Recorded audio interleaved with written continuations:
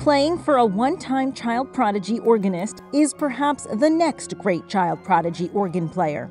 How was that experience? Mind blowing. It, it was crazy. Mind blown. Mind blown.